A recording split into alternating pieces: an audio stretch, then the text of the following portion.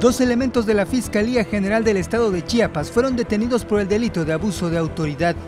La mañana de este viernes le dispararon a dos trabajadoras del Poder Judicial Federal cuando transitaban en este vehículo negro al oriente de Tuxtla Gutiérrez. Ellas participaban en una actividad informativa del Poder Judicial en contra de las nuevas reformas constitucionales. Los oficiales les hicieron el alto al pensar que eran delincuentes.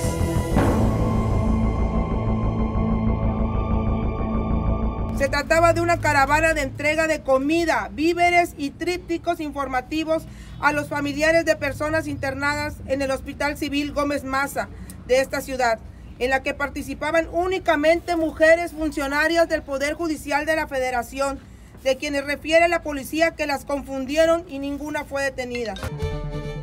Fue una persecución por varios metros hasta llegar a la comandancia de la policía municipal. Se les cerraron, se asustan, arrancan y en ese momento sale desprendido la, camioneta y ya después les, dispara y ellos lo único que hacen es ven a un módulo de policía, intentan llegar al módulo de policía incluso con la llanta y para, para pedir auxilio.